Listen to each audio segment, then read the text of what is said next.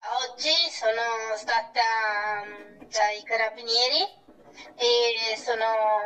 andata a ritirare il dispositivo che si connette con il braccialetto elettronico come è stato previsto dal, dal GIP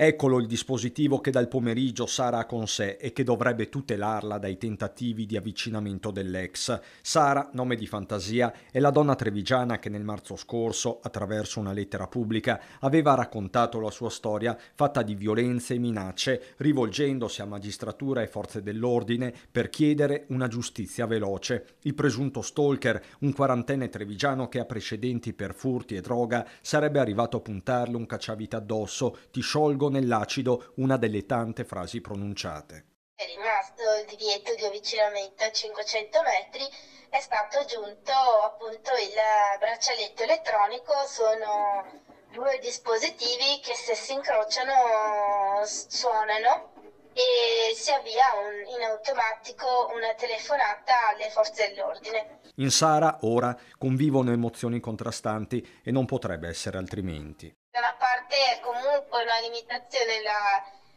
della libertà diciamo personale eh, però effettivamente serve per, per, una questione di sicurezza per cui da una parte sono anche più tranquilla adesso sicuramente. Sullo sfondo c'è un episodio recente che non può far abbassare la guardia, anche per questo Sara continua ad avere paura